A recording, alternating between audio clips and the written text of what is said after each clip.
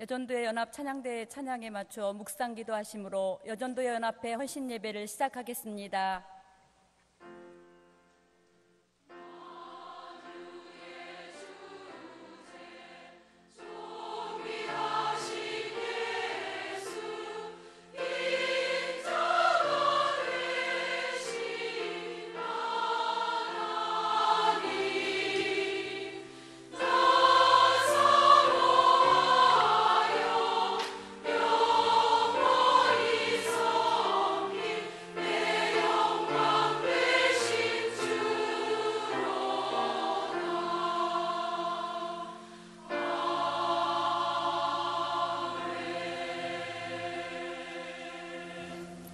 찬송가 375장을 다 함께 부르시겠습니다.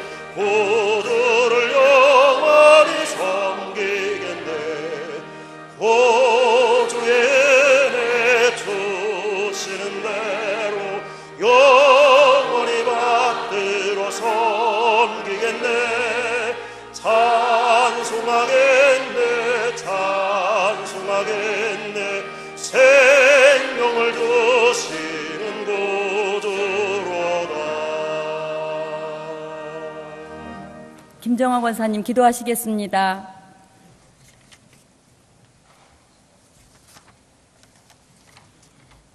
하나님 은혜와 사랑 감사합니다. 죄로 인하여 영원히 죽을 수밖에 없는 저희들을 하나님의 전적인 사랑과 예수 그리스도의 십자가 대속의 죽음을 통하여 구원하여 주시고 천국의 소망을 주셔서 감사합니다. 그러나 하나님의 무한하신 은혜를 입었음에도 말씀에 순종하기보다 인간의 연약함과 악한 본성으로 인하여 우리의 행실은 제약된 습성에서 벗어나지 못함을 이 시간 고백하오니 용서하여 주시옵소서.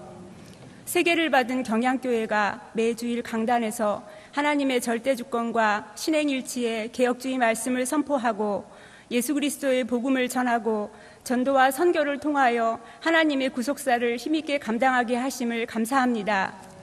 별들의 학교 운동, 고려신학교 운동, 세계 선교 운동의 예수 세계화 운동이 더욱 힘있게 전개되도록 기도하며 헌신과 물질로 후원하여 더욱 하나님 나라 확장에 쓰임 받는 경양교회가 되게 하여 주시옵소서. 세우신 담임 목사님 영육의 강건함을 주시고 말씀을 힘있게 선포하고 하나님이 지혜와 능력을 주셔서 교회의 지도자로서의 사명을 잘 감당하도록 인도하여 주시옵소서. 세계 선교지에 나가 파송된 선교사님들과 그 가족을 안보하시어 오직 복음을 전파하기 위하여 고난을 인내하며 말씀과 기도로 영원 구원의 사명을 감당하는 선교지 교회에 전도의 열매가 많이 맺게 하시고 선교지 13개처의 고려신학교 분교에서 현지인 선교사들이 잘 양육받아 보다 효율적으로 선교 사역을 감당하고 우리는 가든지 보내든지 하는 사명을 감당하게 하시옵소서. 매주일 오후 경양 비전 기도회에 경양의 신실한 성도들이 모여 교회를 위해 기도하고 있습니다. 헌당과 교육관을 마무리하고 앞으로 경양을 통해 펼치실 비전들이 이루어지도록 은혜 주시옵소서. 하나님, 이번 주 목요일 14일 아름다운 초록의 계절, 화창한 날씨에 교회의 정원에서 여전도의 연합회가 봉사의 모임을 갖기를 원하옵니다. 고려 신학교를 후원하는 잔치에 그동안 여전도의 연합회와 1에서 73 회장님들과 회원들이 기도하며 준비하였습니다. 좋은 날씨를 주시고 이 잔치가 질서 있게 진행되고 마무리되게 하여 주시옵소서. 이번 봉사의 모임을 계기로 각 전도회가 모이기에 힘쓰고 그리스도의 사랑 가운데 회원들을 서로 돌아보고 나의 부족함을 인정하고 남을 나보다 낮게 여기는 겸손과 섬김으로 각 기관의 영적인 성장과 부흥이 있게 하시어 교회를 위해 더욱 기도에 힘쓰고 헌신하는 여전도회가 되게 하옵소서. 또한 각 전도회별로 풍성한 열매를 많이 거두어 신학교의 재정에 힘이 되게 하시고 고려신학교가 하나님의 사명 감당에 전념하도록 하옵소서. 이 시간 말씀을 전하시는 시원성 교회 이장원 목사님을 통하여 주실 말씀에 은혜와 세임 받게 하시고 준비한 순서와 여전도 연합회 찬양을 통하여 홀로 영광 받으시옵소서. 감사드리오며 예수님 이름으로 기도합니다. 아멘.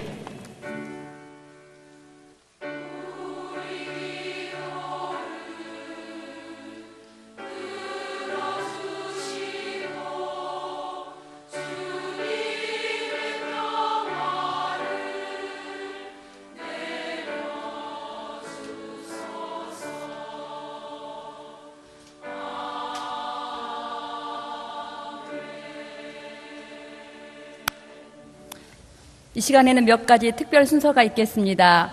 먼저 여전도 연합회 입력원 특송이 있은 후에 서울 남로의 주일학교 성경 암송대에서 금상을 수상한 초등 이주일학교 서정, 서경은 어른이의 성경 암송이 있겠습니다.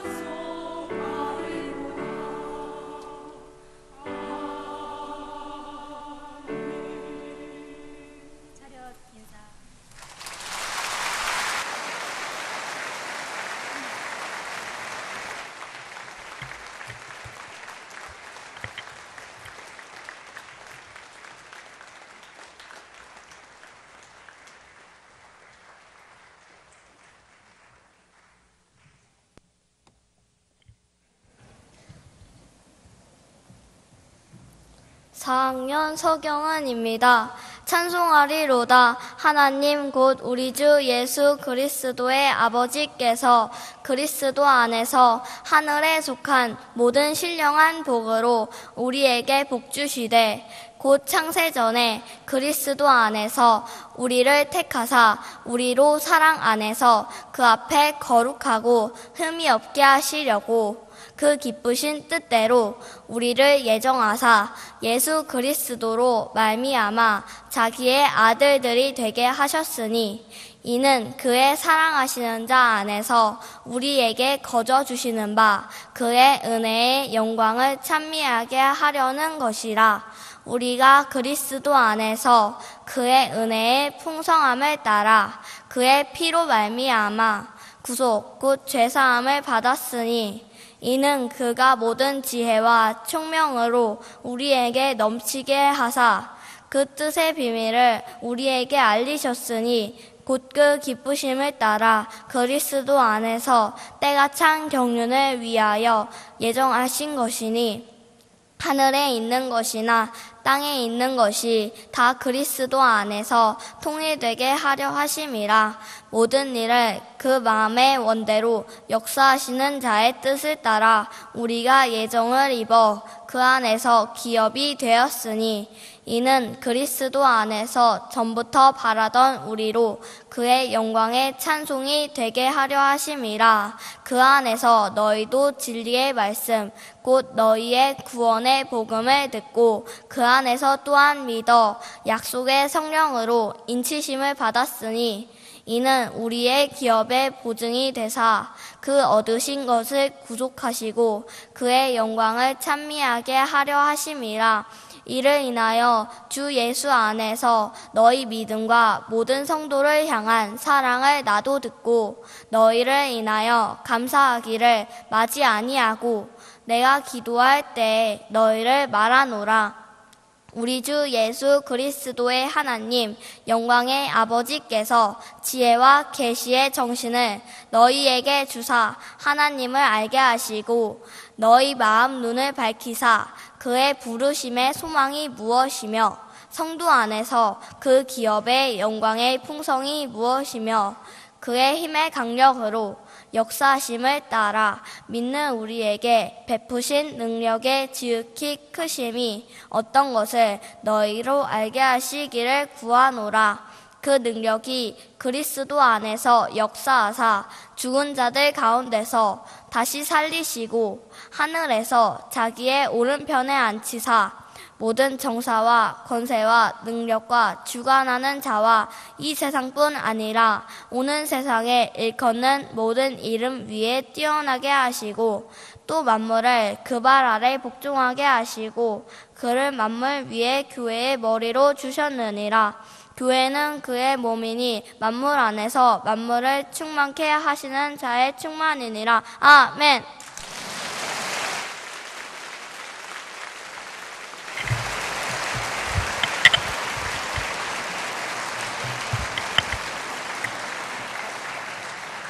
함께 보실 하나님의 말씀은 출애굽기 31장 1절에서 8절입니다. 그 중에 제가 1에서 4절을 봉독하겠습니다.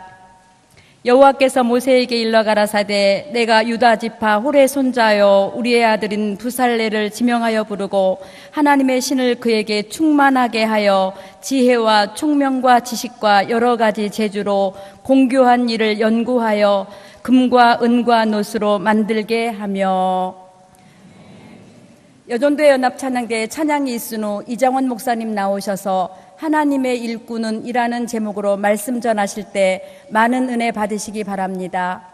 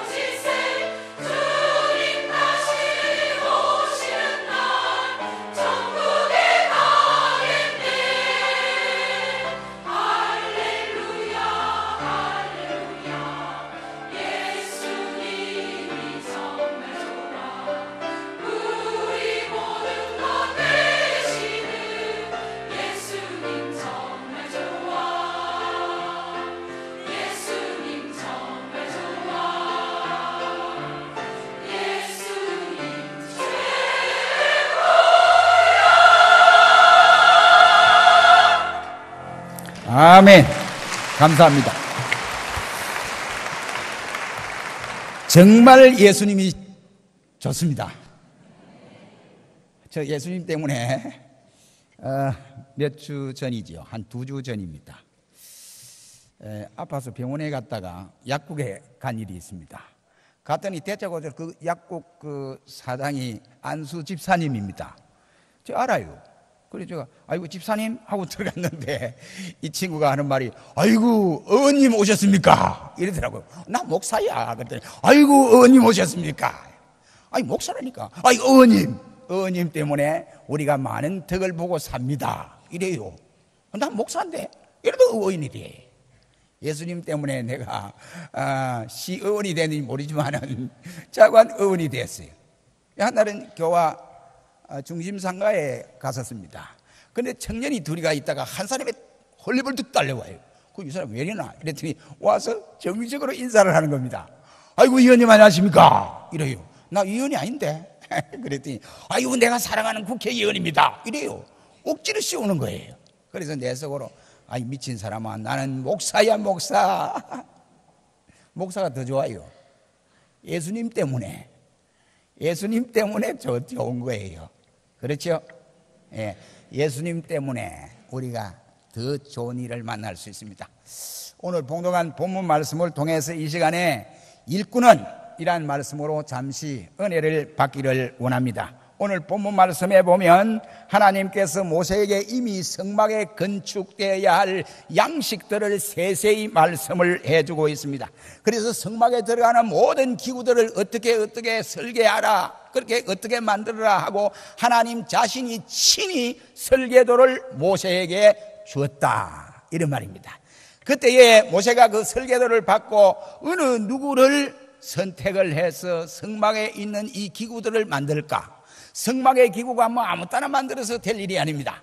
성막의 기구는 모두가 정교하고 세밀한 것입니다. 왜? 하나님의 임재하시는 장소이고 또 하나님이 친히 사용하는 모든 기구이기 때문에 그러한 것입니다. 그래서 모세가 그 설계도를 보여받고 있는데 모세 자신이 거기에 성막에 들어갈 모든 기구들을 자신이 이와 같이 선택해서 사람을 불러서 이와 같이 만드는 것이 아니라 하나님 자신이 불렀다라고 오늘 본문은 말씀을 하고 있습니다. 그러므로 성막의 건축과 기구 제조가 성별됨과 가장 중요한 것을 깨우치고 있다라고 말을 할 수가 있습니다. 거기에 당시 이스라엘 백성들은 애굽에서 있을 때에 저들은 이것이 애굽에서 벽돌 굽는 일을 거의 다 했지 무슨 만드는 일에 정교함을 위해서 만드는 일한 것은 배운 일이 없습니다. 그런데 하나님께서 여기에 소명을 주셔서 그것을 만들게 했는데 두 사람을 선택했습니다. 그 일에 소명을 받은 사람이 바로 유다 지파 우리의 아들 부사렐과 그리고 또한 단 지파 아, 아이 사막의 아들 올 이압이었습니다. 하나님이 이 두 사람으로 하여금 성막에 있는 정극계와 등대와 그 다음에 이와 같이 모든 거기에 들어가는 기구 기구들을 다 이 두 사람에게 맡겨서 만들도록 이렇게 만들어 주었습니다. 그리고는 제사장이 입어야 할 성의도 이 사람들에 의해서 만들게 했고 또 하나님 앞에 재단을 쌓을 때 향을 하는데 향을 만드는 일에도 이 사람들이 하도록 그렇게 말씀을 하셨습니다. 그래서 부사에는 금과 은과 녹과 보석을 가지고 일하는 공장으로 사용하기도 했고 올리압은 은 조각으로 이와 같이 술을 넣고 짜는 일에 재봉하는 일에 이와 같이 봉사하도록 하나님이 선택을 했습니다. 우리는 여기서 하나님의 말씀은 우리가 도저히 감당할 수 없는 이러한 일들을 우리에게 하시는 경우가 있습니다. 내가 순종을 이와 같이 여실히 아, 뭐 이렇게 음? 잘 어려움 없이 감당할 수 있는 일이라면 좋은데 때로는 우리의 힘이 벅찬 일을 통해서 하나님이 일할 수 있도록 우리를 부르시는 이러한 경우도 없지 않아 있다 하는 사실입니다. 그러므로 우리는 바로 순종하면 하나님께서 하려고 하시는 말씀의 참 뜻을 알 수 있을 것이고 만약 순종하지 아니하면 하나님이 우리를 통해서 하시고자 하는 그 뜻을 우리가 익히 깨달을 수도 없고 체험할 수도 없다고 하는 사실입니다.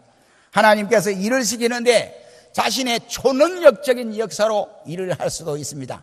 그러나 하나님은 그렇게 하지 아니하고 사람을 선택해서 하나님 자신의 일을 해 나가셨다 하는 사실을 볼 수가 있습니다. 그러므로 바울은 이러한 관계를 일러서 하나님이 선택해서 하나님 자신의 일을 했다. 이것을 바울은 말하기를 동력자라는 말로 표명하기도 했습니다. 하나님의 사역을 위하여 우리가 필요로 하고 우리가 하나님의 손에 붙잡혀 있을 때에 하나님의 일을 잘 감당할 수 있을 줄로 믿으시기를 축원합니다. 오늘은 본문을 통해서 여전도 연합회의 말씀으로 하나님의 일은 라는 말씀으로 잠시 은혜를 받기를 원합니다. 먼저 오늘 본문 2절 말씀해 보면 선택하여 불러주셨다 라고 말씀을 하고 있습니다. 하나님께서 부사라엘과 올리압을 지명하여 불렀다 라고 했습니다. 자신들이 하나님의 일을 하기를 원해서 선택한 것이 아닙니다. 모세가 성막의 설계도를 하나님으로부터 부여받고 하나님이 이 부여받은 그 설계도를 가지고 모세가 직접 사람을 선택하여 쓰신 것도 아니라 이 말입니다. 오늘 보면 2절의 말씀은 하나님이 두 사람을 선택하여 불렀다. 이러한 말씀이 되겠습니다. 그 사람들이 바로 부사랄과 오홀 리합이라고 말을 할 수가 있습니다. 하나님은 당신의 일꾼들을 친히 선택하시고 부르신다고 하는 사실입니다. 갈대아 우르에서 아브라함을 불러내었습니다. 호랩산 떨기나무 불꽃 속에서 모세를 불러서 하나님이 사용했습니다. 그리고 제자들도 바울도 역시도 마찬가지로 주님이 불렀습니다. 그리고 주의 일을 하는 오늘날 수많은 종들을 하나님이 직접 불러서 사용하시게 됩니다. 그래서 이사야 43장 1절 말씀에는 말하기를 야곱아 너를 창조하신 여호와께서 이제 말씀하시느니라 이스라엘아 너를 조성하시는 자가 이제 말씀하시느니라 너는 두려워 말아라 내가 너를 구속하였고 내가 너를 지명하여 불러나니 너는 내 것이다 라고 말씀을 하고 있습니다. 인간은 누구나 전적 부패와 무능력한 존재입니다. 이것이 타락 이후에 우리의 인간의 모습이라고 할 수가 있습니다. 한마디로 말하면 하나님 앞에 이러한 인간이 쓸모가 없다 이 말입니다. 자격이 있어서 하나님이 또한 사람이 어려워서 불러주시는 것도 아니라고 하나님의 영원하신 긍휼의 원칙에 따라서 선택을 하시고 부르신 것입니다. 야곱을 사랑하시고 에스를 미워하신다고 성경은 말씀을 하고 있습니다. 내가 극률이 여길 자를 극률이 여기고 내가 불쌍히 여길 자를 불쌍히 여긴다고 말씀을 하시고 있습니다. 아무렇게나 간섭받지 아니하시고 하나님 자신의 주권적 사역에 의해서 자신의 뜻을 이루어서 결정하시면서 하나님의 필요한 사람들을 불러 사용하신다고 하는 사실입니다. 저와 여러분들, 특히 여전도 연합회 회원 여러분들은 누가 불렀습니까? 우리 성모사님이 여러분 불렀습니까? 아니면 장로님이 불렀습니까? 여러분의 구역자, 구역을 담당하는 목사님들이 불렀습니까? 누가 부르셨죠? 누가 부르셨습니까? 하나님이 불렀지요. 하나님이 여러분들을 일꾼으로 불러주신 거예요. 그러니 부르시는 그분 앞에 우리가 어떤 액션을 취해야 되느냐 이 말이에요. 못한다. 할 수 없다. 나는 무능하다. 나는 도저히 감당하기 어렵다. 이런 말을 해서 되겠느냐 이 말이죠. 오늘 본문에 성막의 기구를 만드는 올리아과 부사엘이 하나님 나는 못합니다. 하나님이 나를 아무리 불러도 나는 못해요 못해요 이러하지를 아니했습니다. 하나님이 부르실 때에 그대로 아멘으로 그 일을 수행하게 하셨다라고 하는 사실입니다. 우리가 이 땅에 살아갈 때 하나님께서 특별한 일을 위해서 부르실 때가 많이 있습니다. 할 수 있다, 없다, 사양하지 마시기를 바랍니다. 주의 일을 아무나 하는 것이 아닙니다. 할 때가 있고 또한 하고 싶어도 못할 때가 찾아옵니다. 요한복음 15장 5절 말씀에는 예수님께서 너희가 나를 떠나서는 아무것도 할 수 없다 라고 말씀을 하고 있습니다. 하나님의 역사는 지금도 계속 계속 되어지고 있습니다. 그 역사에 참여하도록 여전도 회원 여러분과 저와 여러분 모든 성도를 불러서 하나님이 사용하십니다. 우리는 모두가 하나님이 불러 구원을 얻은 백성이 된 겁니다. 구원을 위해서 우리가 교회 나온 것이 아니고 이제는 예수 그리스도를 믿고 구원받은 이 백성들인데 구원을 위해서 나온 거예요. 하나님 앞에 나와서 충성하고 봉사하고 교회를 중심으로 해서 일하기 위해서 나온 겁니다. 하나님의 교회는 우리가 그냥 교회 왔다 갔다 한다고 해서 될 일이 아니에요. 교회 왔다 갔다고 이렇게 하면 충성에 대한 그 맛을 모릅니다. 하나님 자신이 우리에게 베푸시는 은혜의 체험을 할 수가 없습니다. 그러므로 모든 성도는 연합회 회원들은 교회를 중심으로 해서 헌신하고 충성하고 봉사하는 데까지 이뤄야 그 사람이 진정한 예수쟁입니다. 그렇지 않고 교회로 뱅뱅 돌아가면 교회만 뱅뱅 돌고 맴돈다면 그 사람은 진짜 예수 믿는 사람이라고 할 수가 있겠습니까? 예수 믿는 사람은 뭐, 어? 우리 가슴에 십자가의 은혜가 뚜렷하잖아요. 예수님이 나를 사랑해 주었다. 내가 똑똑해서 예수를 믿게 했느냐? 내가 똑똑해서 예수님의 이와 같이 귀한 직분을 맡아서 일을 하게 했느냐? 아니지 않습니까? 저도 마찬가지고 여러분도 마찬가지로 생각합니다. 그러니 주님이 불러주셨으니 먼저 우리는 주님 앞에 충성 감당할 수 있어야 되지 않습니까? 교회를 중심해서 감당할 수 있어야 됩니다. 그래야 완전한 신앙 생활이 될 수가 있습니다. 그러므로 우리가 교회 나오는 것은 구원 문제가 아니고 이제는 구원받은 백성이 교회 나오는 것은 예배와 하나님 앞에 봉사하기 위해서 나온 것입니다.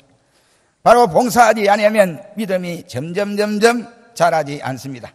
그래서 갈라디아 6장 2절 말씀에는 말하기를 너희 짐을 서로 지라 그리하여 그리스도의 법을 성취하리라 그 말씀을 하고 있습니다. 오늘날 교인은 많은데 일할 사람이 없는 것이 오늘 한국 교회 현실이라고 생각합니다. 일하는 사람이 적다 이 말이지요. 일하는 사람만 음, 계속해서 일을 하기 때문에 때로는 피곤이 오는 경우도 없지 않아 있습니다. 내 아버지께서 일하시니 나도 일한다고 하는 주님의 말씀처럼 우리는 그런 자세로 예수 그리스도와 그의 나라를 위해서 일을 하시기를 축원합니다. 생명과 건강과 젊음과 물질과 재능을 주께로부터 받았으니 주의 영광을 위해서 쓰임을 받아야 되지 않겠습니까? 쓰임을 받아야 되지 않겠습니까? 대답이 적습니까? 쓰임을 받아야 하지 않습니까? 예. 모세는 바로의 궁궐에서 공주의 아들로 지내는 것보다 그리스도의 이와 같이 함께 그리스도를 믿는 신자와 함께 고난받기를 절교했다라고 했습니다. 다시 말하면 그는 바로 그리스도의 집에 하나님의 집에 사관으로 봉사하기를 원했던 사람입니다. 물론 배후에는 하나님의 역사가 깔려져 있습니다. 그렇다고 한다면 사랑하는 회원 여러분 그리고 선거 여러분 하나님이 당신을 위해서 나를 선택했다는 확신을 가지시기를 주의 이름으로 축원합니다. 이 확신이 없으면 내가 하나님 불렀다. 하나님이 나를 불렀다. 이 확신이 없으면 일을 놓고도 일을 하지 않습니다. 연합이 안 된다 이 말이 연합이 안 돼요. 네가 해라. 내가 해라. 이렇게 해 버립니다. 그러니 하나님이 나를 불렀다 이 말이에요. 하나님이 나를 불렀으니까 내 뜻대로 내 마음대로 내 생각대로 내 고집대로 하는 것이 아니라 부르신 그분의 뜻을 따르는 것이 순리라고 믿으시면 아멘 하시기를 바랍니다. 두 번째로 오늘 보면 3절로 11절 말씀해 보면 감당하게 하셨다라고 말씀을 하고 있습니다. 하나님의 일을 섬기는 자에게 감당할 수 있는 능력을 주시더라 이란 말입니다. 하나님께서 그 일을 적합하지 않는 자를 부르지 않습니다. 일단 부르시고 세우시면 감당하도록 은혜를 베풀어 주신다라는 사실입니다. 그래 오늘 본문 3절 말씀해 보면 하나님의 신을 그에게 충만하게 하여서 지혜와 총명과 지식과 여러 가지 재주를 주셨더라고 말씀을 했습니다. 저들 백성들 가운데 오올리압과 이와 같이 여기에 나타나는 두 사람은 저들이 뭐 성막의 기구에 대해도 상세하게 이렇게 제조하는 방법도 저들은 본 일도 없습니다. 그런데 하나님이 저들을 불러서 충만케 하고 지혜를 주시고 총명을 주시고 지식까지 재주까지 주셨다라고 말씀을 하고 있습니다. 성막의 건축과 기구에 제작에 필요한 모든 것을 하나님이 능력을 허락하여 주셨다. 이런 말씀입니다. 하나님의 일은 하나님의 신이 충만해야 감당할 수가 있습니다. 인간의 지식이나 지혜로 되는 것이 절대로 아닙니다. 성령의 충만함으로 이루어지는 것이다. 이런 말이. 힘으로 되지 아니하고 능으로 되지 아니하고 오직 나의 신으로 되느니라고 스가랴 6장 4절은 말씀을 하고 있습니다. 부사렐과 오올리압은 어쩌면 그 방면에 재능이 있는 이런 사람입니다. 누구나 타고난 소질이 있기 마련이지요. 그러나 그 재능이 하나님의 일에 쓰여지기 위해서는 어떻게 해야 되느냐? 성령의 역사가 일어나야 됩니다. 성령의 역사가 일어나지 않으면 일을 할 수가 없습니다. 조금 감정적으로는 할 수가 있겠지요. 그러나 시간이 조금 지나다 보면 왜 나만 하느냐? 아무게 1천도의 회장도 있고 2천도의 회장도 있고 등등 다 이분들이 있는데 왜 내가 하느냐? 이렇게 되어집니다. 그러나 심령 속에 성령의 충만한 역사가 있게 되면 하나님의 일을 보고도 가만히 있을 수 없고 그 일을 위해서 내가 자진해서 감당해야겠다고 하는 뜨거운 열의가 생깁니다. 왜 그러느냐? 그의 심령 속에는 성령께서 역사해 주시기 때문에 그렇습니다. 여러분 제자들을 보십시오. 오순절 전에 이 예수님의 제자들은 3년간 예수님의 뒤를 따르면서 하나님의 말씀을 받았습니다. 은혜도 받고 나가서 주님과 더불어 복음 전도도 이렇게 감당했습니다. 그런데 오순절 이전에는 예수님께 십자가에 달려 돌아간다. 이러니까 전부 제 갈 길로 다 가버리고 말았습니다. 그러나 오순절 이후에 성령에 체험한 제자들은 저들이 흩어졌던 저들이 다시 에루살렘으로 돌아와서 복음을 증거하다가 예수 때문에 생명을 내어놓는 이러한 일들이 일어났습니다. 그래서 사도행전 6장의 말씀에는 초대교회 일꾼을 뽑는 데서 먼저는 성령에 충만한 자, 지혜가 충만한 자가 되어야 된다라고 말하면서 선택을 했습니다. 성령이 없으면 그리스도의 사람이 아니라고 로마서 8장 9절의 말씀을 하고 있습니다. 육에 속한 사람은 성령의 은혜를 받지 못하기 때문에 주의 일을 감당할 수가 없습니다. 진리의 영으로 충만할 때 하나님의 영이 나타난다고 요한복음 16장 14절은 말씀을 하고 있습니다. 성경에서 우리는 성령의 신이 함께 하시는 특별한 사명을 감당했던 인물들이 많이 있습니다. 창세기 41장 38절 말씀에 보면 요셉이 바로의 꿈을 해석해 주므로 바로가 바로 요셉을 말하여 말하기를 하나님의 신이 감동된 자다. 라고 말씀을 했습니다. 모세가 여호수아에게 이제 제2의 지도자의 바톤을 넘길 때 여호수아에게 안수를 했습니다. 안수를 할 때 여호수아에게 하나님의 신이 감동되니라 했습니다. 그때에 모세를 통해 순종하던 이스라엘 백성들이 여호수아에게 모세처럼 똑같이 순종하더라라고 말씀을 하고 있습니다. 하나님께서 무명의 사람 기도원을 세워서 하나님의 신에 감동하게 해서 이와 같이 이 급에 질려인 이 사람에게 하나님이 하나님의 신이 감동하니까 미디안을 쳐서 승리하는 놀라운 역사가 일어났습니다. 다윗을 보십시오. 삼손을 보십시오. 이사야를 보십시오. 그리고 위대한 종들의 사역을 감당하기 위해서 성령의 충만함을 받았습니다.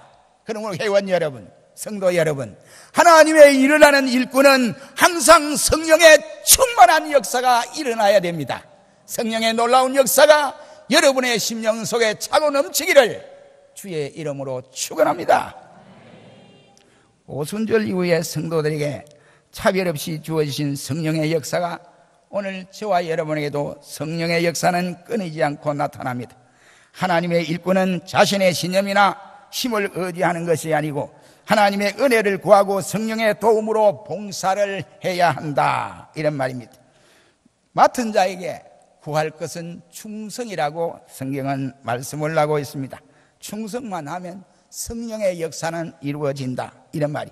충성하면 나머지는 하나님이 주십니다. 지혜가 부족하면 지혜를 주시고 건강이 부족하면 건강으로 채워서 감당하게 하시고 또한 물질이 필요하면 하나님께서 물질을 주셔서 감당하게 하여 주신다. 이 말입니다. 하나님께서 우리가 하나님의 일을 하는 자로서 다른 이와 같이 사람을 보지 말고 내가 해야 할 것이 무언가 충성이에요. 충성. 충성밖에는 없는 것입니다.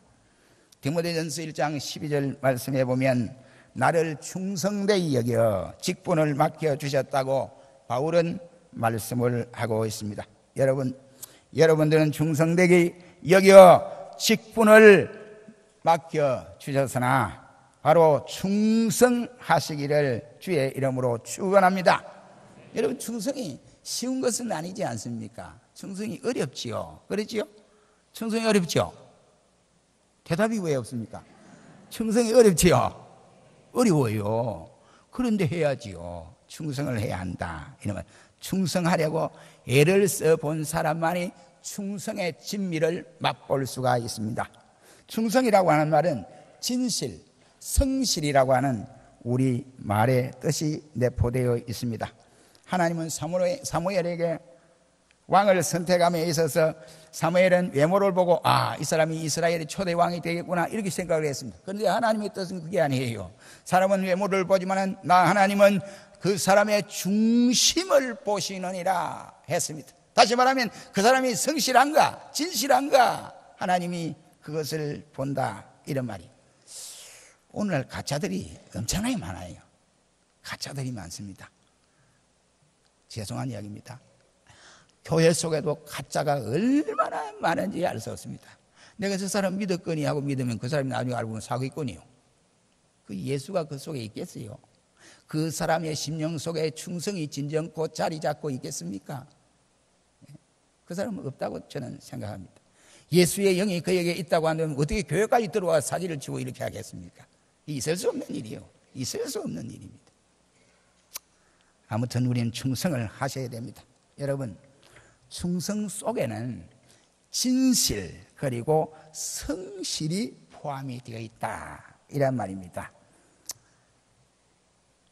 윤영탁 교장선 합동측입니다. 충행교회 그쪽에 신학교인데 윤영탁 목사님이 그가 오래됐습니다. 약 40년 전에 충원교회 대학생 때 충원교회 사찰을 했습니다. 이 공부를 하는 학생의 입장에서 사찰직이 보통 어려운 일이 아닙니다. 어, 우리 경양교회는 안 그리라 믿습니다. 제가 그 전도사 때에 합정동교회 전도사를 했어요. 서울에 합정동교회 전도사를 했는데 그때 이 사찰이 집사가 있었는데 어이 사찰 이럽니다. 어이 사찰 이래요. 그러면 이 집사가 흑살이 없어요. 예? 이라고 자기 집 몸종처럼 이렇게 달려가요. 쏜살이 달려가요. 그 제가 전도사 때인데, 이야, 너무했다. 이래 싶어요. 근데 바른대로 이야기하면 좀 쫓겨나요, 전도사가. 전도사 힘 없어요. 하루살이와 같아요. 힘 못해요. 그래서 아무 말도 꾹꾹 참으면서 주여 나는 목회자가 되면은 이제 담임 목사가 되면 만약 이와 같이 사찰을 부릴 수 있는 일안 되면 절대로 내가 어이 사찰 일 안 하겠다 이렇게 생각했습니다. 아무튼 그 시대에 그랬어요 다. 대학생으로서 사찰 직무가 어렵습니다. 근데 윤영탁 목사님은 사찰 직분을 그더니 수행을 했습니다. 지금은 그 신학교 교장이 되고 교수가 되었습니다. 여러분 누가 대학생 시절에 사찰 보는 그 사람이 응? 신학교 교장이 되고 누가 그 사람이 교수가 되리라고 꿈이라도 꾼 사람이 있겠습니까? 아니라 이 말이에요. 하나님은 이처럼 작은 일에 충성하는 그 사람을 하나님은 큰 것으로 맡겨주신다. 이런 말이에요. 그러므로 회원 여러분, 여러분에게 감당하기 어려운 일은 하나님 절대로 맡기지 않습니다. 내 생각에 감당하기 어렵다 이 생각이지 하나님 자신의 생각은 그렇지 않다 이 말. 그래 네가 해봐라. 해보고 부족하면 내가 도와주마 이겁니다. 그러므로 감당하는 이 축복이 하나님께로 있음을 꼭 깨닫고 맡겨주는 일에 충성하시기를 주의 이름으로 축원합니다. 마지막입니다. 3절로 11절 말씀해 보면 각각 일이 있다라는 사실입니다. 하나님이 부사일을 목공으로 일하게 하시고 올리압을 의복을 만드는 봉제의 일을 하도록 했습니다. 자신들이 마음대로 할 일을 선택한 것이 아니고 하나님께서 그 일을 정해 주셨더라 했습니다. 그들은 그래서 그 일에 대해서 순종한 것밖에 없습니다. 주께서 이 땅에 오신 것은 내 뜻을 행하게 함이 아니라고 요한복음 6장에 말씀을 했습니다. 그 말씀은 예수님이 하나님의 뜻을 행하기 위해서 이 땅에 오셨다 이 말이.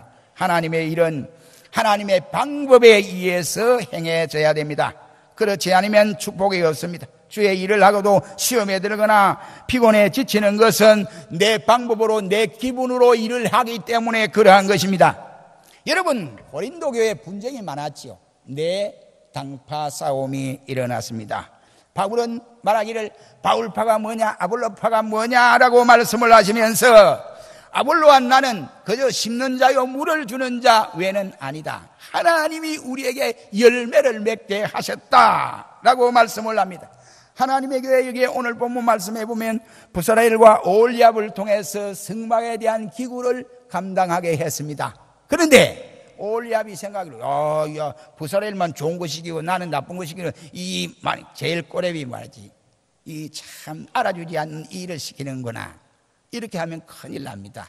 그러나 올리압과 부사라엘은 두 사람이 협동, 협력을 잘했습니다. 연합이라고 하는 개체가 무엇입니까? 한 사람이 있을 땐 연합이 아니에요. 그렇죠? 한 사람 플러스 한 사람이 될 때에 연합이 이루어집니다. 그렇지 않습니까? 대답이 없습니다. 연합이라고 하는 것은 한 사람 플러스 한 사람 플러스 플러스 플러스 될 때 그 연합이 되는 거예요. 근데 올리아가 오늘 본문의 브살렐이 아이고 나 당신하고 못 하겠어. 이렇게 한다면 성막 제조가 되겠어요? 안 됩니다. 그러나 저들은 분명코 이 일이 자기의 일이 아니라 하나님이 시켰고 불렀고 하나님이 저들에게 지혜와 능력을 주시고 하나님의 신이 감동하게 하심으로 이 일을 하게 했다. 그러니 부사엘과 오홀리압이 협동하였다. 이 말입니다. 합심하여 헌신을 했다. 이런 말씀이 되겠습니다. 우리가 하나님 앞에 받은 은사는 각양 다를 수가 있습니다. 목사에 할 일이 있고 당회가 할 일이 있고 재직회가 할 일이 있으며 남전도회가 할 일이 있고 아니면은 여전도회 연합회가 할 일이 있고 여전도회 각 기관들이 할 일들이 있습니다. 남자분이 할 일이 있고 여자분이 할 일들이 있습니다. 또 우리 SFC 할 일이 있고 대학생이 할 일이 없지 않아 있습니다. 젊은이가 할 일이 있고 노인이 할 일이 있습니다. 맡은 바 본분, 내가 받은 바 은사를 분명하게 해야 될 줄로 믿습니다. 내가 다 하겠다라고 하면 문제가 생길 수밖에 없습니다. 시험해야 됩니다. 내가 하나님의 일에 있어서 필요하듯이 다른 사람도 필요로 사용한다는 사실입니다. 다른 사람이 받은 은사도 귀중하게 생각을 해라 이 말이에요. 그러니까 어, 일산의 어떤 교회는 고신적 교회입니다. 찬양대를 없애버렸습니다. 없애다가 요 몇 년 사이에 또 찬양대를 세웠습니다. 왜 그런관이 아, 찬양대가 애를 먹인다는 거예요. 그, 그 목사가 박아무개 목사입니다. 그래서 찬양대를 없애버렸어요. 없애다가 지금은 찬양대를 세우고 이렇게 일을 하고 있습니다. 왜 그러느냐? 거기서 항상 잡음이 난다. 이 말이. 자기가 뭔데? 혼자서 이런 거예요. 어, 자기는 하지 않으면서 다른 사람을 이렇게 비판하는 거예요. 혼자 다 해라. 이런 거예요. 연합회 그러면 절대로 안 되지요. 합력하여 선을 이루어 나가야 됩니다. 하나님께서 한 사람에게만 일을 하도록 다 재능을 주신 것이 아닙니다. 받은 달란트가 각각 다르다 이런 말이에요. 제일 여전도회가 다르고 각각 여전도가 회가 구성되어 있는 그 여전도회가 백몇 개가 있지요. 그 여전도회 각각 달란트가 다르고 개인으로 생각해도 각각 우리 받은 달란트가 다 다릅니다. 우리는 마태복음 25장 14절 이하의 말씀에서 달란트 비유에 대해서 잘 알고 있습니다. 각각 주인이 재능대로 달란트 다섯 달란트를 두 달란트를 한 달란트를 주었다 했습니다. 다섯 달란트 받은 사람과 두 달란트 받은 사람이 바로 가서 장사를 했다고 했습니다. 그래서 이익을 남겼다고 했습니다. 그러나 한 달란트 받은 사람은 겁이 나서 땅 속에 파묻어 버렸습니다. 그러니까 하나님이 그에게 한 달란트를 주실 때는 주실 만한 분명한 이유가 있은 거예요. 땅에 파묻으라고 준 거 아니거든요. 그런데 파묻어 버렸습니다. 그때 주님을 통해서 주인을 통해서 책망받은 일은 악하고 게으른 종이라는 책망을 받게 되었습니다. 이 한 달란트 받은 사람은 자신의 능력을 과소평가한 것입니다. 왜 나는 한 달란트밖에 안 되느냐 이 말이죠. 그래서 다른 사람은 두 달란트 주고 다섯 달란트 주는데 왜 나는 한 달란트 주느냐 이겁니다. 그런데 한 달란트에 가질 수 있는 영향력인데 다섯 달란트나 아니면 두 달란트를 주면 나머지는 다 쏟아버려요. 하나님이 알아서 해주시는 거예요. 그러니 그 달란트가 크고 많음에 우리 상관하지 말고 주여 감사합니다. 나 같은 죄인에게도 이러한 승무를 감당할 수 있도록 주시니 은혜에 감사합니다. 하시기를 축원합니다. 이 시비하지 말고 분쟁을 일으키지 말아라. 이건 마귀의 역사예요. 교회가 분쟁을 일으키고 시기하는 건 전부 마귀의 역사 아닙니까? 마귀의 역사입니다. 어느 교회 같더니 그렇더라고요. 남쪽, 북쪽 해가지고 이래가지고 앞에다가 뭐가 의자로 바리케이트를 딱 쳐가지고 한쪽은 남, 남쪽, 한쪽은 북쪽. 이래가지고 자기 싸운데 같이 예배를 드리 하, 내가 그걸 보고 하나님 골치 아프겠다 그랬어요. 하나님 양쪽의 설교를 다 들어야 되냐. 그렇죠? 하나님 이 설교를 들을까? 저 설교를 들을까? 아, 하나님 대단히 골치 아프겠다. 생각해. 그거 아니에요. 그 마귀 새끼예요. 마귀 새끼예요. 죄송한 이야기입니다. 마귀가 하는 일이에요. 하나님의 교회에서 어떻게 남북한이 갈라져가지고 바리케이트를 쳐놔놓고 그따구 예배를 보고 있습니까? 차라리 그럴 바엔 우리 같이 연합합시다. 해서 예배를 드려. 교회 안에서 시기, 다툼, 분쟁은 있을 수가 없습니다. 내가 받은 은사를 무시하고 감사하지 못하면 사단은 이렇게 역사하게 됩니다. 그러므로 각자가 합력하여 연합하여 모든 일들을 잘 감당하시기를 바랍니다. 결론을 맺겠습니다. 성막의 기구 제작을 위해서 특별히 수많은 사람들 가운데에 부사례를 선택하여 감독하게 하시고 올리압을 선택하여 부사례를 도와서 일을 하게 했습니다. 부사엘은 하나님의 위대한 사역에 동참한 축복의 사람입니다. 우리 성경에 보니까 부사엘에 대해 그 족보가 어떻게 되느냐 알아보니까 그 부사엘은 훌의 손자입니다. 훌의 손자. 그는 바로 모세가 아멜렉과의 전쟁에서 팔이 내려올 때 아멜렉이 이기고 팔이 올라가 기도할 때에 이스라엘이 대성을 거뒀습니다. 그때 양쪽에서 받쳐준 사람이 누구지요? 그 사람 중에 한 사람이요. 누구요? 훌, 아론 두 사람이었어요. 여기에 바로 훌의 손자였습니다. 이것이 부사령. 그 다음에 훌은 아멜렉 전쟁 시에 이와 같이 기가 차게 할아버지가 하나님 앞에 쓰임을 받았습니다. 의인의 자손이 반드시 하나님의 축복을 받는다고 하는 것은 이미 성경이 우리에게 말씀한 바 있습니다. 창세기 26장 24절 말씀해 보면 아브라함을 위하여 내가 너와 함께 있어 내게 복을 주어 내 자손을 번성하게 하리라. 그 말씀을 하셨습니다. 시편 37편 25절 26절 말씀해 보면 내가 어려서부터 늙기까지 내가 경험하고 경험했는데 의인을 버리, 의인이 버림당하는 일이 없고 의인의 자식이 걸색함을 당하는 일이 없더라. 꼭 고백을 하고 있습니다. 여러분, 의인의 자손이 복을 받는 것일진데 우리가 어떻게 살아야 할까요? 부사라에는 하나님의 그늘, 하나님의 보호라는 이러한 뜻이 담겨져 있습니다. 그늘, 이것은 우리 성경에 보면 바로 주께서 세우신 주의 종들라고 말씀을 하고 10편 17편 8절 말씀에는 주의 날개 그늘 아래 감춘다라고 했어요. 주의 날개 안에 감춘 이 안전 보장이지요. 그렇지요? 그 그늘이에요. 그리고 보호 주의 날개 그늘 안에서 즐거이 부르리라고 10편 63편 7절은 말씀을 하고 있습니다. 하나님의 일꾼은 하나님이 책임지고 보호하시고 인도하십니다. 오늘이라는 날에 충성하면 다음은 하나님께서 채워 주시는 줄로 믿습니다. 올리압은 부친의 청막이라는 또 아버지는 나의 장막이라고 하는 이러한 뜻이 내포되어 있습니다. 그는 아버지 밑에서 열심히 일을 배웠고 건신하게 일을 했습니다. 하나님은 건면한 자를 택하여 세워 주십니다. 오늘 본문만에 강조하고 싶은 말씀은 부르시고 충만하게 하시고 함께 하시며 명한 것을 다 만들게 하셨더라. 다 만들게 하셨더라. 예, 아멘입니다. 세례와는 이렇게 고백을 했습니다.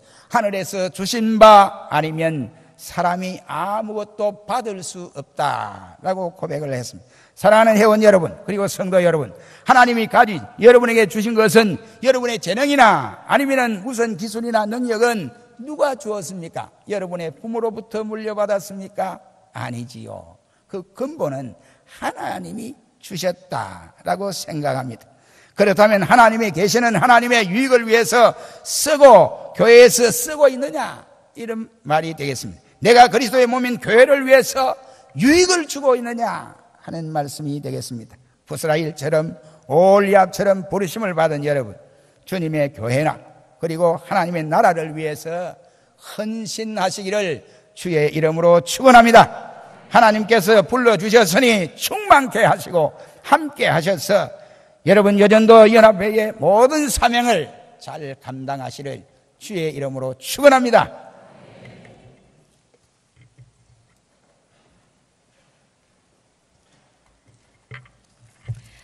다 함께 찬송가 277장을 부르시면서 준비하신 11조와 헌금을 하나님께 드리겠습니다.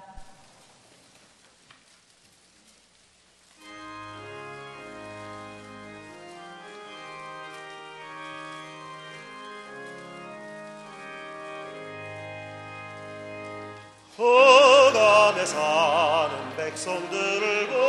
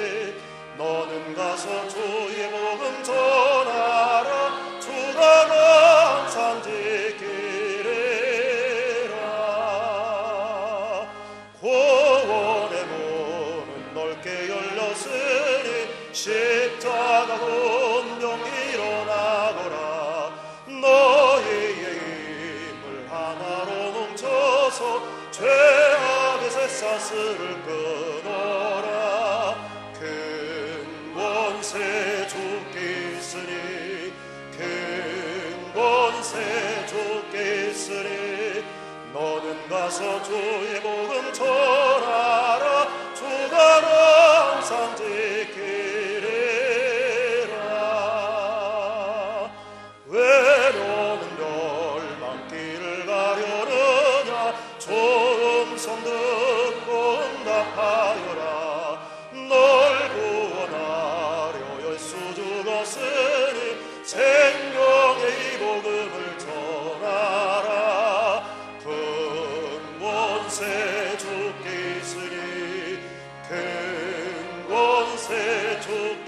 있으니 너는 가서 주의 복음 전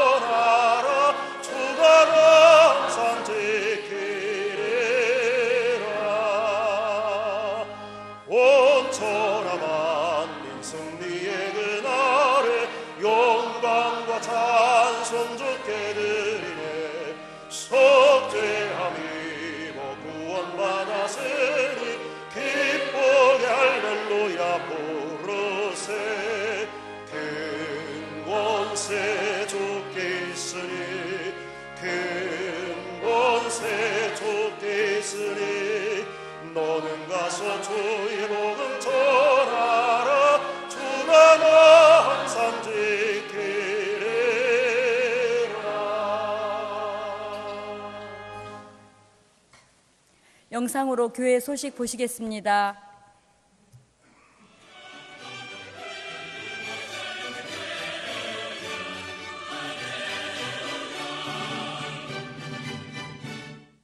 교회 소식입니다.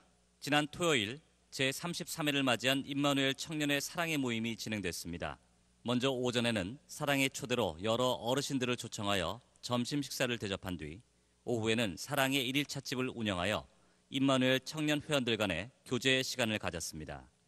청년 상호 간의 화합과 태신자를 해산하고 장기 결석자를 찾는 기회로 삼기 위해 개최된 사랑의 모임의 수익금은 고려 신학교 도서 기금으로 사용됩니다. 지난 목요일 우리 교회 교육기관 중 연로하신 어버이를 대상으로 하는 모세대학이 봄 소풍을 다녀왔습니다. 100여 명의 학생과 교사가 부천에 위치한 자연 생태공원을 견학하고 맛있는 점심 식사를 한 뒤 온천욕을 하는 등 즐거운 시간을 가졌습니다. 모세대학 봄 소풍을 위해 협력해 주신 분들께 감사드립니다. 지난 주일은 어린이 주일로 지켰습니다. 3부 예배 중에는 4주 동안의 교육과 유아 세례 시치 문답을 통과한 11명의 아기들이 부모의 사약에 따라 유아 세례를 받았습니다. 또한 어린이 주일을 맞아 3부 예배 중에 13개의 유치부, 유년부, 초등부 주일학교에서 타의 모범을 보인 25명의 어린이에게 시상을 했습니다. 전 교인이 함께 전도하는 수요 전도 대회가 금주 수요일 해당 교구와 구역별로 진행됩니다. 태신자 갖기 운동 기간 중에 진행되는 전도 대회를 통해서 좋은 소식을 아직 듣지 못하고 듣고도 믿지 못하며 알고도 순종치 아니한 자들이 죽기로 돌아오는 역사가 있기를 기도하며 동참해 주시기 바랍니다. 금주 수요 밤 예배는 제 19에서 20일 남전도회 헌신 예배로 드립니다. 설교는 전영대 목사님께서 하시며 찬양은 권사 찬양대가 준비하겠습니다. 사랑의 물품 나누기 25번째 행사인 여전도회 봉사의 모임이 금주 목요일 오전 10시 교회 정원에서 진행됩니다. 해마다 갖는 여전도회 행사에 금년에도 물품을 서로 교환하며 친교하고 경향인으로 동맹하는 축복의 행사에 많은 관심과 참여를 부탁드립니다. 전체 수익금은 고려 신학교 장학금으로 전달됩니다. 금요 밤 기도회는 밤 9시에 진행되며 금주 기도회 중 특송은 초등 4주일학교 교사 일동이 준비하겠습니다. 결혼 예식입니다. 서형규 집사의 일남 신랑 서진영 군과 등촌 구교구 박남규 장립집사 김희숙 권사의 일녀인 신부 박은경 양의 결혼식이 금주 토요일 오후 12시 제2성전에서 담임 목사님의 주례로 있겠습니다. 김광현 성도 백상임 집사의 일남 신랑 김희열 군과 가양 7교구 유호은 장립집사 장정숙 권사의 일녀인 신부 유선영 양의 결혼식이 금주 토요일 오후 2시 30분 한국 기독교 연합회관 웨딩홀에서 있겠습니다. 다음 주일은 교단적으로 지키는 총회 선교 주일입니다. 세계에 흩어진 선교사님들과 선교지 교회들을 위해 기도하며 특별 헌금을 준비하시기 바랍니다. 다음 주일 낮에는 집사회, 권사의 원래회, 경향 비전 기도회, 제11회 우성배쟁탈 교구 친선 농구리그 개막식, 별들의 학교 후원의 원래회가 있으며 밤에는 등촌교구 헌신 예배가 있겠습니다. 교단 소식입니다. 서울 남로의 교역자 원래 및 야유회가 월요일 동서남북교회당에서 있겠습니다. 제36회 서울 남로의 주일학교 그림 글짓기 대회가 금주 토요일 오전 10시 고려신학교 아카데미 캠퍼스에서 있겠습니다. 교회 출발은 오전 9시 제3성전에서 하겠습니다. 예배 후 주교교사 교환 준비회로 모이겠습니다. 고맙습니다. 오늘 우리 교회에 처음 나오셨거나 등록을 원하시는 성도님께서는 예배가 끝난 후 한층 아래에 있는 친교실로 오셔서 담당 교육자님의 기도와 교회에서 준비한 선물을 받아가시기 바랍니다. 다 함께 송영 305장을 부르신 후에 담임 목사님 나오셔서 헌금을 위한 기도와 축도해 주심으로 여전도 연합회 헌신 예배를 모두 마치겠습니다.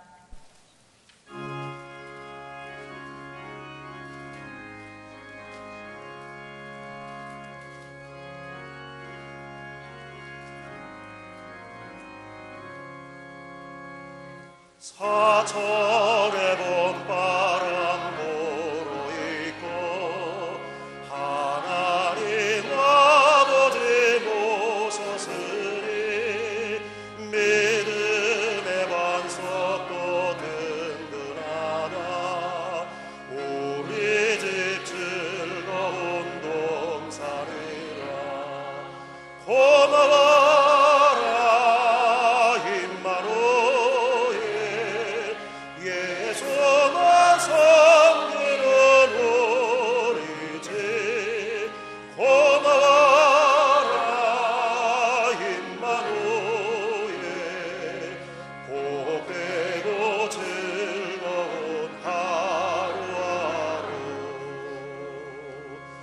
Oh.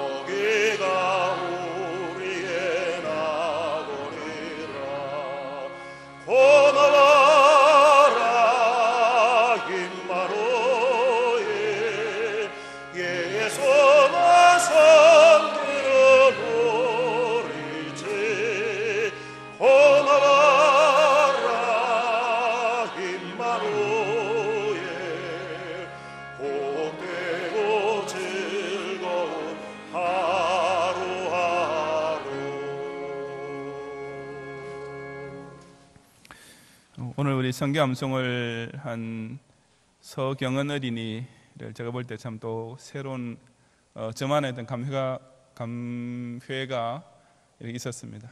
어, 우리 경은이 언니가 효원이라고 있는데 어, 서효원 양이 우리 경영교 주일 밤예배 성경 암송대회를 제일 처음으로 한 어린이였습니다. 벌써 뭐 7, 8년 전일까요? 네.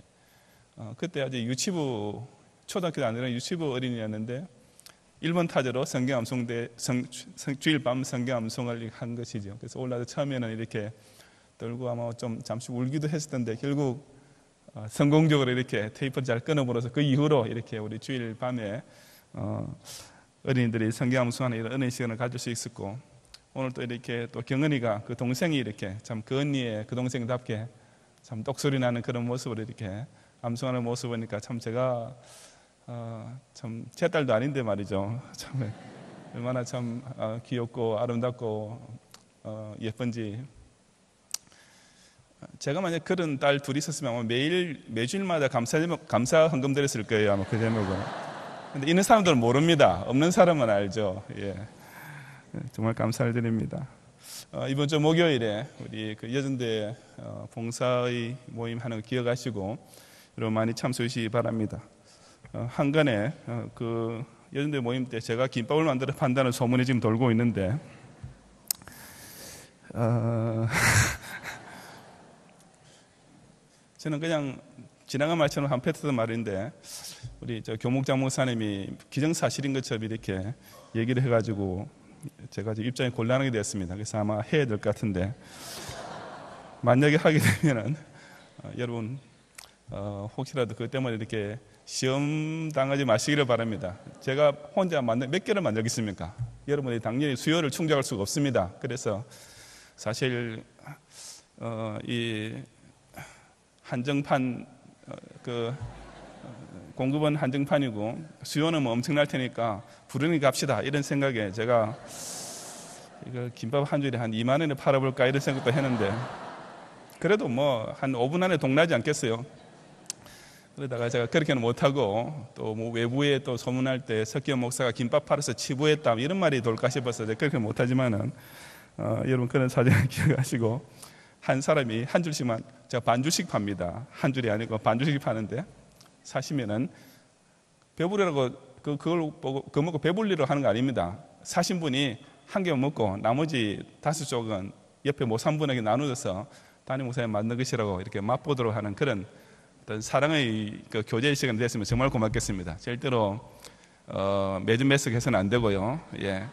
한 사람 1인당 반 줄씩 한 개씩밖에 안 팝니다. 그리고 김밥 두 종류를 파는데 어, 두 종류 맛이 다릅니다. 재료도 다르고 맛도 다르고 밥 비비는 것부터 다른데 어, 혹시 그걸 맛보고 아, 이게 더 맛있다, 저게 더 맛있다 싸우는 일이 절대로 없으시기 바랍니다. 둘 다 맛있습니다. 저, 여러분 뭘 상상하시든 간에 그 기대 이상의 맛이 될 겁니다. 그건 제가 자신 있는데 우요?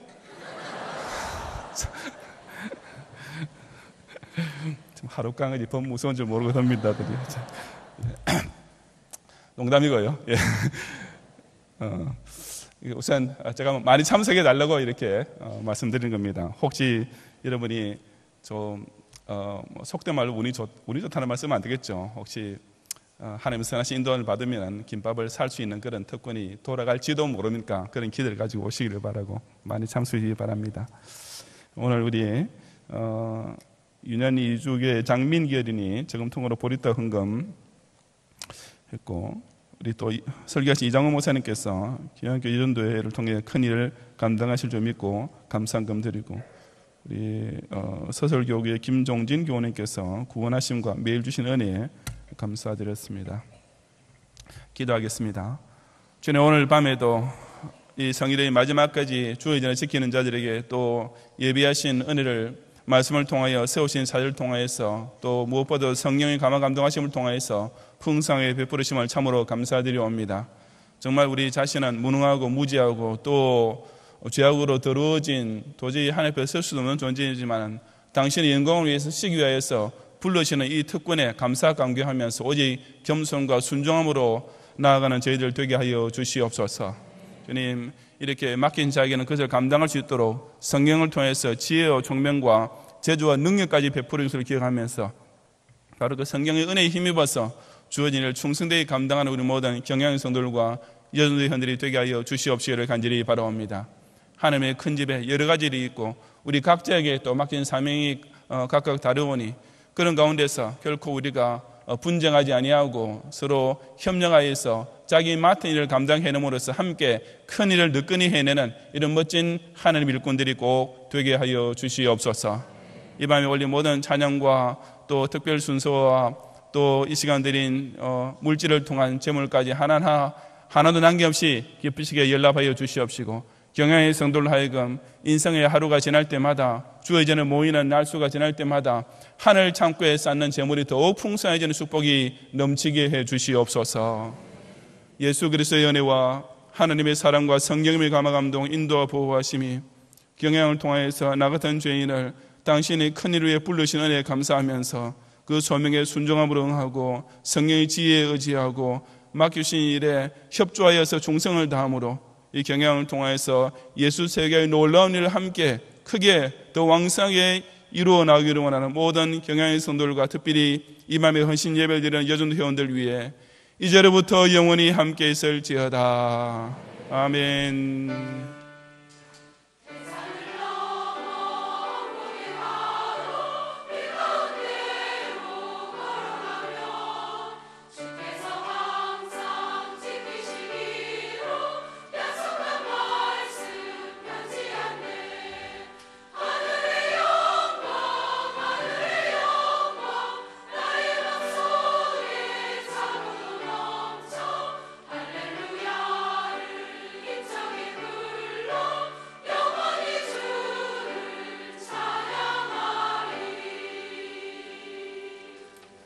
예배를 모두 마쳤습니다. 평안히 돌아가시기 바랍니다.